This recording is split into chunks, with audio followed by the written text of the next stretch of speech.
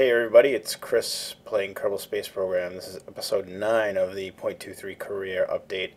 And uh, this is a Mun rover mission. So I built this lander and um, it was purpose built for the Mun mission. Now, if you look at the lander, it's I've already gone through the transfer to the Mun and uh, had my encounter, set up this little uh, orbit here.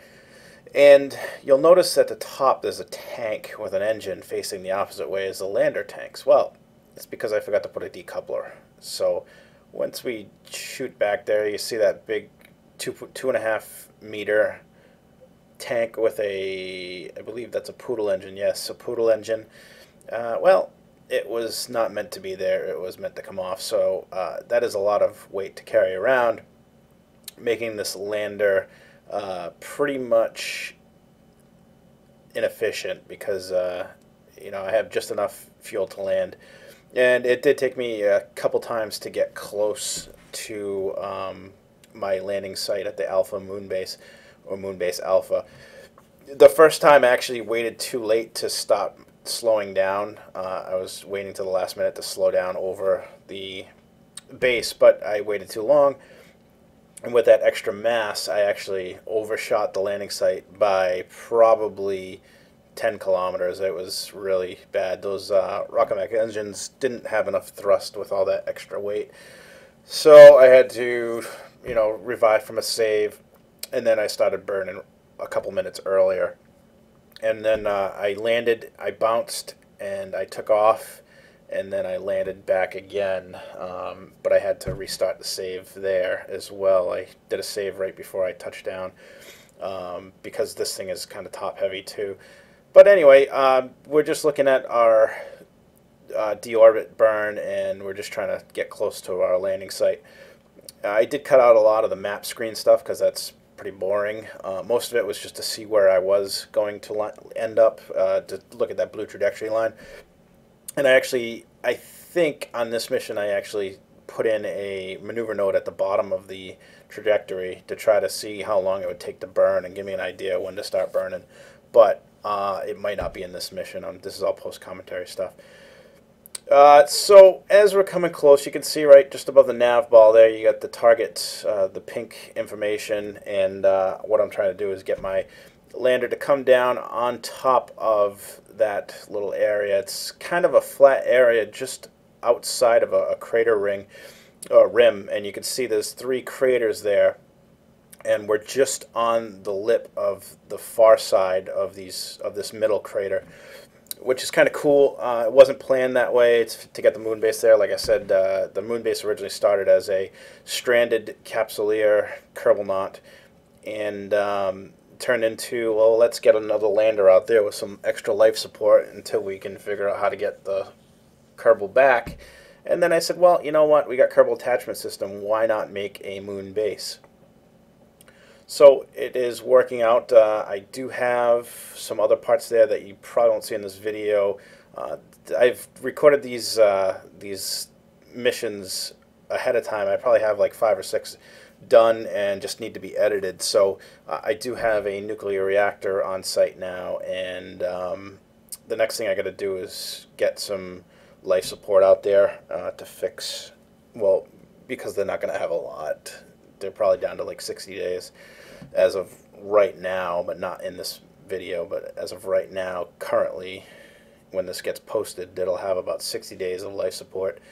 Uh, and that's, you know, not accelerating at all. So we don't know how long that's going to take and how many accelerations I'm doing. But I'm pretty much just doing missions to the Mun and Minmus right now. And I did some work on the Science Lab or Skylab as, as well. So, all right, so we're just coming down. We're going to do something funky because I think this is where I bounced and bounced sideways. And then I had to, uh, I was just about out of fuel and I had to do something else. Yeah, yeah, maybe this is okay. Yeah, that's what it was. I uh, jumped way out and then I had to, uh, I couldn't come back. I didn't have enough fuel. So I did a save, uh, restore there, and now we're landed right next to the moon base. And what I'm going to do is drop the rover. As you can see, it's not overly complicated rover. It's kind of light. It was lighter than it should have been. Um, I didn't. I've never done a, a, rover on the Mun, but I have on Minmus, and in Minmus, it's the microgravity is extreme, and the, the rover would just flip out. It would do wheelies going forward and, and all sorts of crazy stuff. But I didn't think that would be an issue here on the Mun. I didn't really realize that um, this thing was very unstable. Uh, it looks stable, but it's not. And uh, you could see those two long extended things. Also, the uh, magnetospheric uh, sensors from the interstellar space mod. And those are actually folded in. When they unfold, they're like twice as wide and they go straight out, uh, well, perpendicular to which direction they are now. Uh, so I was actually using those as stability controls uh, later on. But you'll see as I I go off the hill uh, in this crater rim and uh, I get some serious hang time because uh, I was going a little bit fast. But uh, you'll see that as it comes up. Uh, right now, what I'm going to do is I, I, have some new science instruments here, and I have uh, an antenna on this, and I don't have remote tech set up yet because I, I just haven't gotten around to it.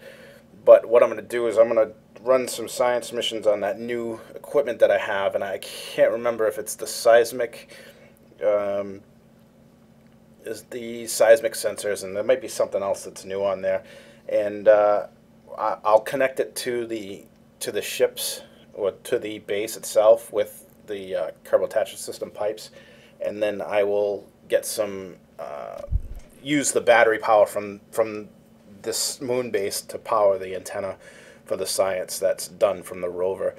Uh, so now you see one of the Kerbals coming out, and he's going to set up a a link. Now I was going to link this uh, lander into the moon base, and then I was gonna you know steal the fuel out of it. But that turned out to be not such a good idea.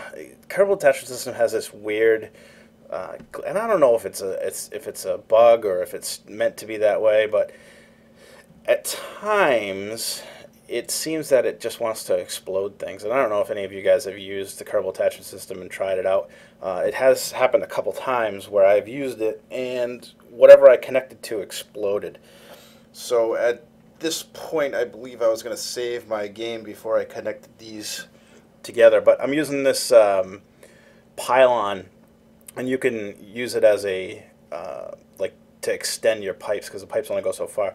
So what I was going to do is run the pile, run this uh, this moon base lander, connect that to that pylon, and then the pylon to the new lander that just dropped off the rover.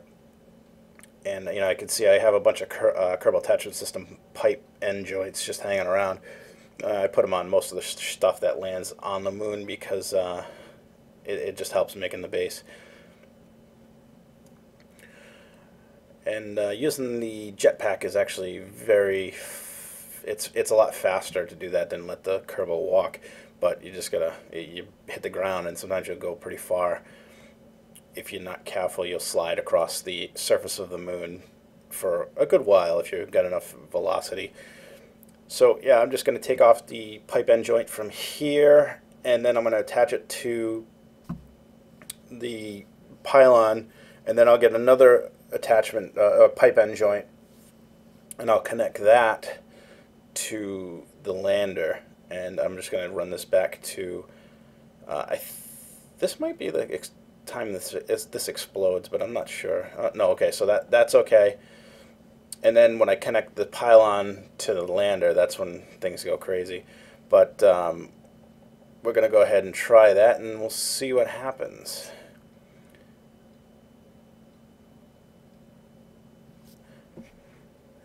Maneuvering the, the Kerbal around. Yeah, see, that just exploded the pylon. Uh, now, this pipe end joint is just kind of floating here. The pylon is gone. There's another pipe end joint rolling around. Um, not much else. I I was kind of surprised. that this is the first time the things have exploded on me, but it has happened since. So um, I was a little confused as to what happened. So instead of using the pylon, maybe that was the problem. I, I don't think it was at the time, but uh, I said, let me give it the benefit of the doubt. I'll try to directly connect the the lander to the moon base, and uh, shit goes wrong. Now, as you can see, there's still parts exploding. That lander completely disappeared, and my little caption wrong button. Well, it wasn't so much a button as a weird kind of issue, and so I did not try to connect that lander again. So I had to restore the save and now what I'm going to do is I'm going to connect, and hopefully I don't explode this. That's what I was thinking at the time. I want to connect this rover to the moon base so I can use its power in order to uh, transmit science. So I'll connect that up, and then I'll run those science missions like I had originally intended, but then got sidetracked connecting the lander to try to steal the fuel from it. Now, if we ever have to get off the Mun right now, I might have the ability to get one lander off but I don't think I'd be able to get both of them. Uh, so fuel is going to be an issue. Now, um, just I'm a little cautious at this time because I don't want this thing to blow up or the rover because it took a while to build the rover and get it over here. Uh, a few iterations, if you will. Now, let me connect this up, and then we're going to run our science, and then we'll take the rover on a rove. Alright, so we're just about to connect this rover to the moon base and do our science. Um, it did not explode, which was very nice. That was a bonus in my book.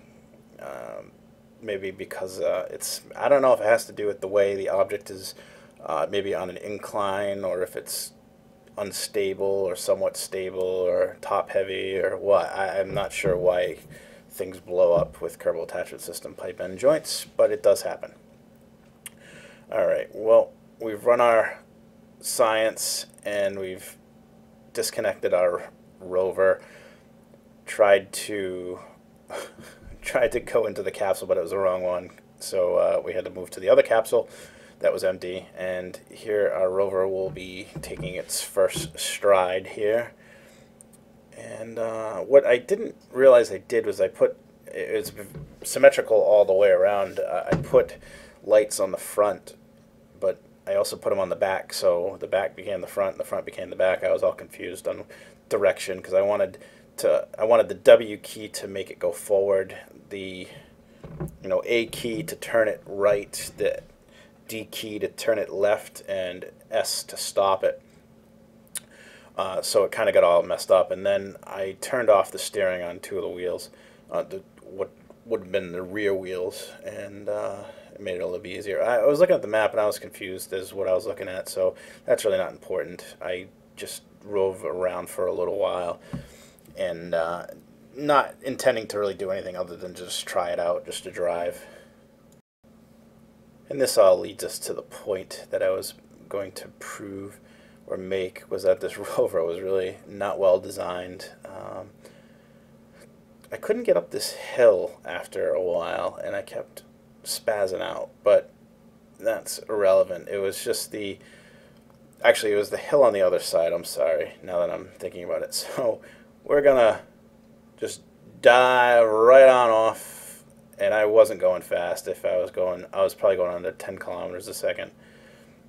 But um, we'll just do a little slow mo action here and kind of flip out, but we didn't break anything, which was amazing. I mean, I know it's not that heavy of a object, but just hitting at random spots, you'd think that like the solar panels would break, something like that. So uh, we're just gonna watch this thing kind of tumble on down the hill. And if you've seen my Minmus rover, it's very similar, except this didn't seem to be as uh, air death defying, but uh, it was still was pretty bad. Um, so we're just gonna go ahead and do a little bit of roving around. And then I just want to go back up to put this back at the uh, moon base and just leave it parked there for a while. And, um, you know, basically this is just me mucking around, as Scott would say, because Scott Manley. Uh, he doesn't like to swear, I guess.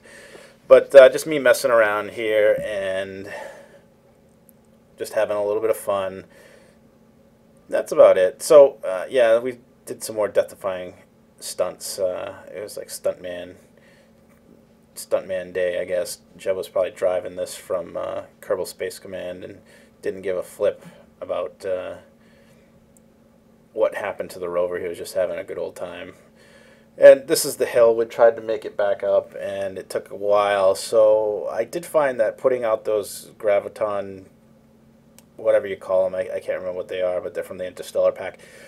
It is a science instrument, but I, I put those out, and it actually made things work a little bit better. Um, not much better, but a little bit better. And, and there was enough internal torque on this that I could roll the lander. Uh, I'm sorry, roll the rover and go one way and then all the way back the other way and it would flip over. There was enough internal torque. But that was the Mun rover mission. And uh, I don't know. Hope you enjoy it. Like, subscribe, comment, check it out, and thanks for watching.